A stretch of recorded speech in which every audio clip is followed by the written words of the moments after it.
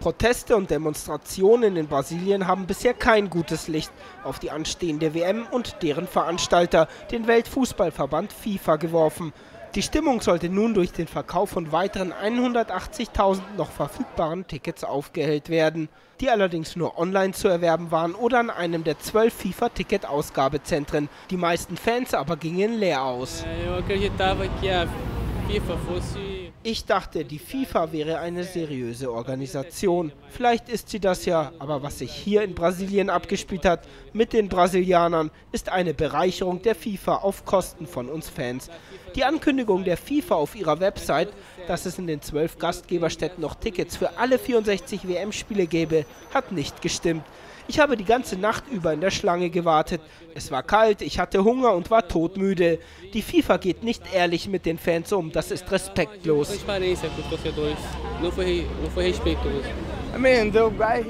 Der Typ hier hat gesagt, es gäbe überhaupt keine Tickets mehr aber im Internet hieß es, dass hier noch Tickets verkauft werden würden. Ich stehe hier seit 2 Uhr in der Früh. Ich werde mein Glück noch weiterhin versuchen.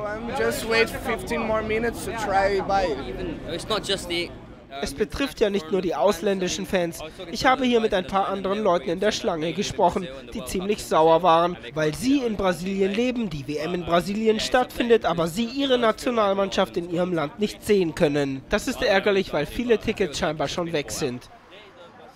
Grund für die so späte Ticketoffensive der FIFA, die nun eher nach hinten losgegangen ist. Aufgrund der zahlreichen Bauverzögerungen in den Stadien musste der Fußball-Weltverband die Eintrittskarten zurückhalten, weil gar nicht sicher war, ob es die Plätze dazu überhaupt geben würde. Berichten zufolge waren 90 Prozent der Tickets vergriffen, kurz nachdem sie in den Verkauf gegangen sind. Die wichtigsten Partien, die Halbfinalspiele, das Finale sowie das Eröffnungsspiel, sind komplett ausverkauft.